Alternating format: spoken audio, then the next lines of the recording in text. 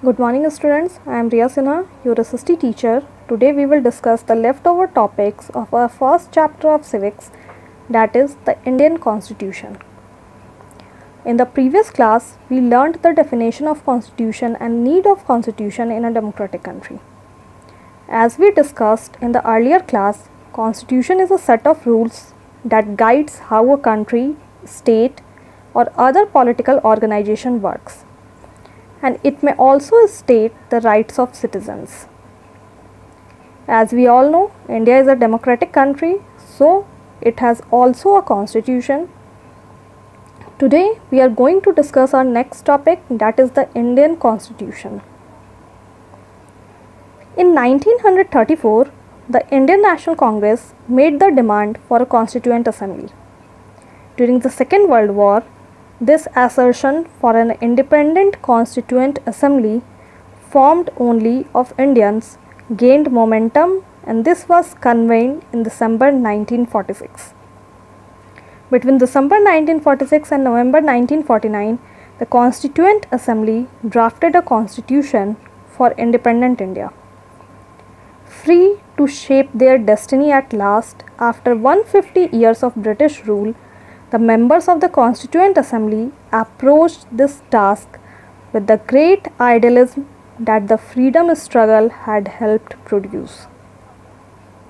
This was done not by one person but by a group of around 300 people who became members of the Constituent Assembly in 1946 and who met periodically for the next three years to write India's constitution.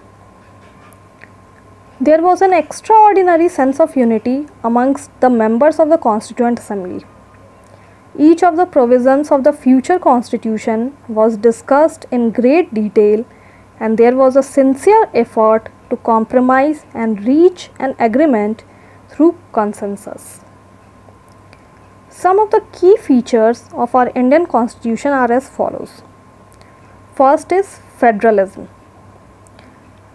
Federalism refers to the existence of more than one level of government in the country.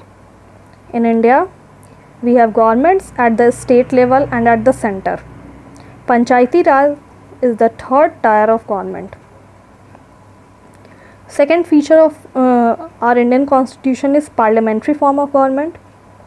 The different tiers of government that you just read about consist of representatives who are elected by the people people of India have a direct role in electing their representatives.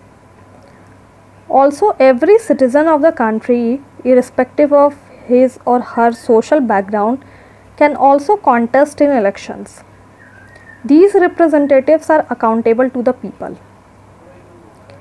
Our next feature is separation of powers.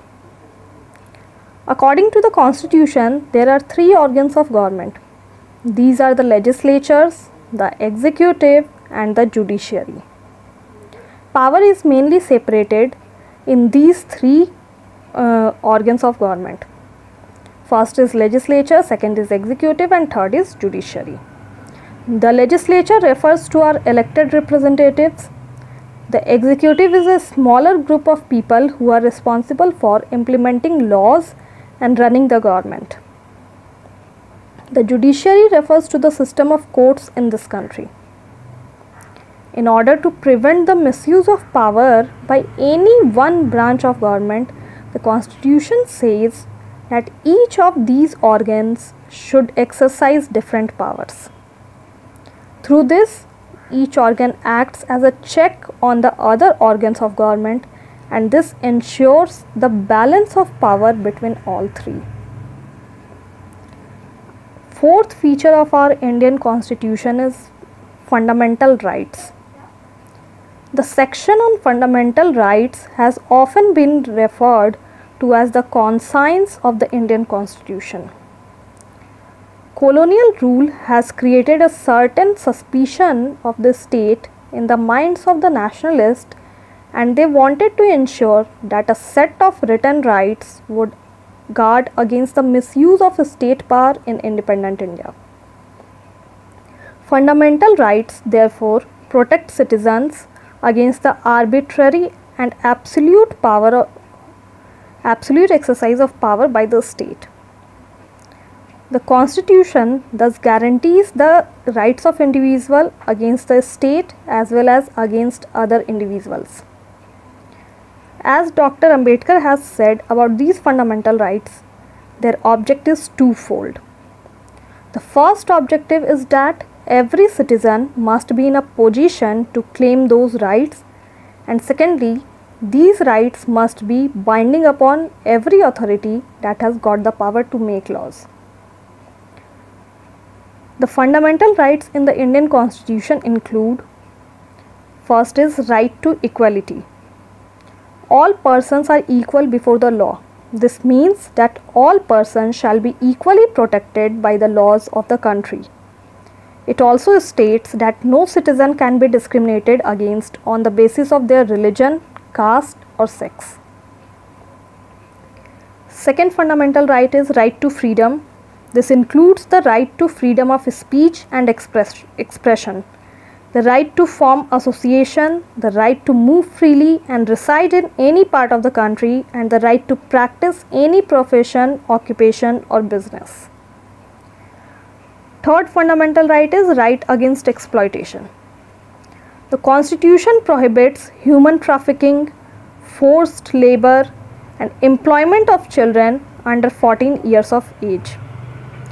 Next fundamental right is right to freedom of religion. Religious freedom is provided to all citizens. Every person has the right to practice, profess and propagate the religion of their choice. Fifth fundamental right is cultural and educational rights. The constitution states that all minorities, religious or linguistic can set up their own educational institution in order to preserve and develop their own culture.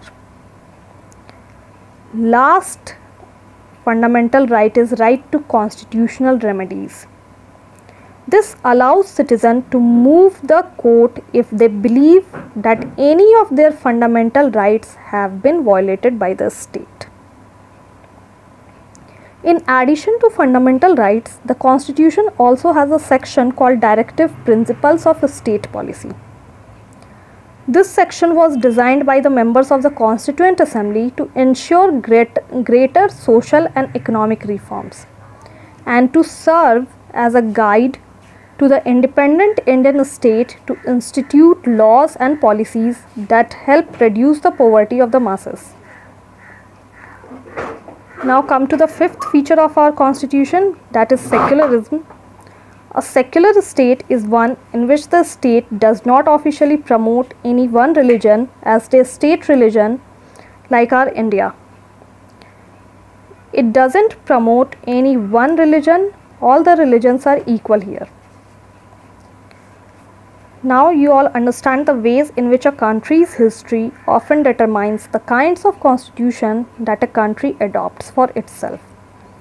Now we have covered all the topics of this chapter. So I am giving you homework to write and learn all the given keywords and till then stay at home and stay safe. Thank you.